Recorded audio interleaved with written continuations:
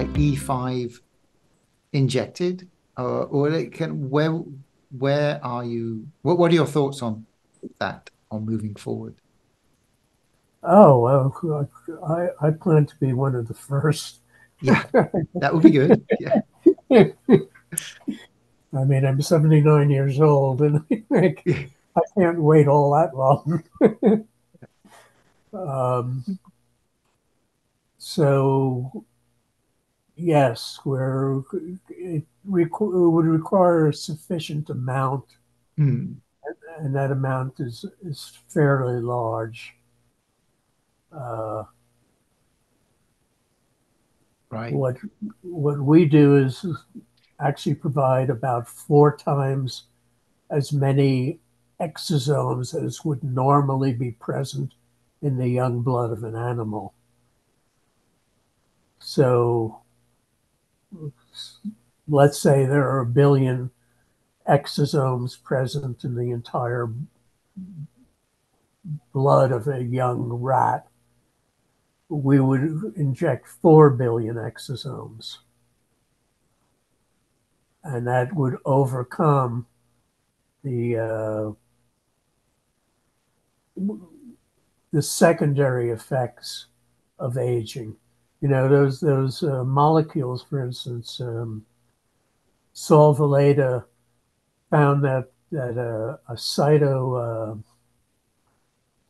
uh, a cytokine, it's not a cytokine, it's a chemokine called eotaxin. Mm uh, accumulated in the brain of old rats, and that uh, if he injected young rats with eotaxin, they would develop much the same sort of cognitive uh, impairment as, as older rats do. But we think that's a secondary effect. We think that exosomes are the primary effect. And uh, this experiment with my hand mm. has, has, has made me rethink several things because, for one, the exosomes only worked where they were applied. Even even here on the web of my uh, mm-hmm. my hand, it's hard to okay. In the webbing of my hand, it's still somewhat wrinkled because I didn't apply the exosomes to that surface. So it seems to me that the exosomes reset a cellular clock, which then begins aging at, a, at the normal rate. And the idea that there are pro aging substances seems to be belied by the fact that for a year, almost a year and a half, 79 year old blood has been flowing through this hand, and we see no change in, in aging. We see no aging right. changes. Yeah. So, so this uh, makes me think, and I, I, had a big argument with uh, with editors of Nature and a, a Harvard professor about this and they ultimately they the editors agreed with me and the Harvard professor disagreed and it went through several rounds and my what he disagreed with was that there was a clock that somehow existed in cells that uh, I, th- I think this pretty much proves that there's a clock and that aging just proceeds naturally. You reset the clock to young like it's like turning back from the end of the book to the beginning of the book, and then you still have to proceed through it page by page. Mm-hmm. Uh, or in the clock analogy, you reset the, the clock to, to 7 a.m. and and it proceeds at the normal rate to, to 12 p.m. to you know to mm-hmm. midnight, mm-hmm. which we'll call death. okay. So human trials for E5 as an injectable, I assume, I mean, so having enough E5 is one issue, but the other issue would, would also be that I think there would be a lot of um, regulatory hurdles to cross. Yes, that, that that's that's what would slow us down. Right. Applying it topically, however, Mm, yeah. those those regulatory hurdles uh, would be much lower. Right. And and so yeah, so are you planning a topical E5 trial? Well, that's that's my belief. I, I have to to. Uh, Hmm. It'll depend on our CEO. Right. Okay. Uh, personally, I, I would do that if nothing else, just to uh, to attract investors. Because uh, obviously, it would change the cosmetics industry, which is a fairly sizable industry, enormously, Hmm.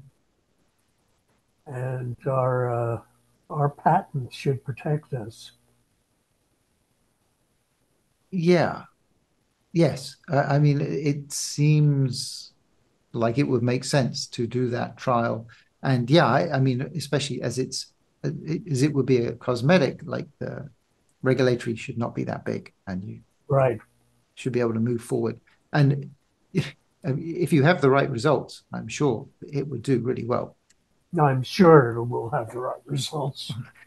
Yeah, I mean, that seems. Um, I mean, I- I see the evidence every day. yeah. Honestly, every day I look at my hand, I say, is it changing yet? but no, it hasn't. Okay. I, I wish I had applied it to other areas of, of my face. But when I go back to India, uh, we'll see. Right. So are you Uh, Mhm. areas of my face, rather, not other Right. areas. And this other hand, too. So Yeah. I'll have ma- at least matched hands. So, are you are you manufacturing in California or India at the moment? India. Ah, okay. Right. Yeah. We we have problems with the California pigs because they're uh, they're fed uh,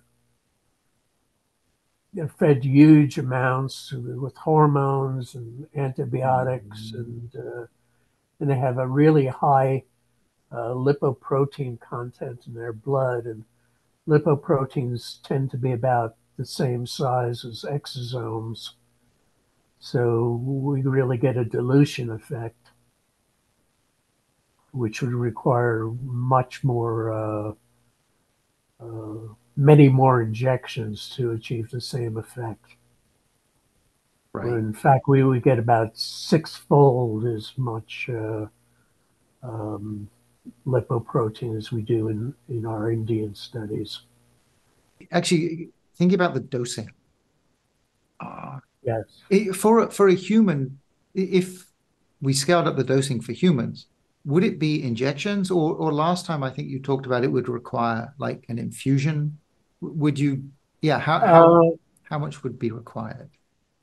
Well, I mean, if you were to do injections, uh, there would be many injections. But if you were to do it by infusions, which which shouldn't last more than an hour or so, for uh, for a week, every alternate day, that would be that ought to be sufficient. Right. And not much of an inconvenience as compared to aging. Yeah. Yeah, I, on on the kind of technical, on the scientific side, that was what I wanted. Any anything that I missed in there? Um, I think. No, I, I, I don't think so. I, I, I think, uh, you know, on the practical side, pigs provide enough blood to take care of aging for the human population as, as it is now. On the technical side, it may be exosomes, but it also might be ectosomes, exomeres, supermeres, etc. And that's that's what we'll find out through uh, experiments that I hope are starting any moment now. Uh, the, uh, right at the moment, the 21 hour trip to India doesn't 21 air hours mm-hmm. To India doesn't really appeal to me. But uh, um, I was if, if necessary, I'll go there. We we have our our scientists in India. Yes. Uh, yeah. I was I was going to ask. So you don't actually have a plan to go there at the moment? Uh, I would like to go there. We'll have to see. Right. We'll have to see. Uh, so if so, you so far, I trust the people there. Sorry. Right. Yeah. No. No. I, that's so. If you had to, if you could, had to guess when you think, you know, we would. Uh, I guess there. Were, when when would there be human trials for E5 injectable? Do, do you have any idea how long that kind well, of timeline? We're we're thinking of dog trials first, at least in terms of safety. Right. Uh, and we could begin phase one trials. I'd say within uh, within a year or 2 mm-hmm. Those would basically be safety trials, but I think they would reveal a lot more than just safety. Right. and so, uh, mm. and I would gladly be part of that. Right. That would be yes. Um, and okay, so you are planning dog trials. Would these be companion dogs, or no? I, no. I these these are uh, uh, through a CRO, a, a right. contract research organization. So we we'd want third party trials, right? Uh, yeah, and uh, and they generally use beagles I don't know why. I, I like beagles. Uh, I have a dog myself. Right. Yeah. yeah. And of course, let's face it, uh, having a dog myself, I realize there would be a, a huge market for for uh, for pets as well. Yeah. If you you could have a dog that uh, that could live thirty years, people would be fairly happy about that. Yeah, I mean, it seems like it would be a good way to both move forward with the testing and, and proof and also get revenue. Yes, exactly. Yeah. I mean, re- revenue is not my major concern, except revenue to perform the research that needs to be performed. Um, yeah, I mean, that's the thing. Everything's always easier with money. yes. Absolutely. Yeah. Otherwise, I'm quite happy sitting here in my room with my books and uh, mm. or working in a laboratory, and it would be a lot easier if I were uh, several decades younger. uh,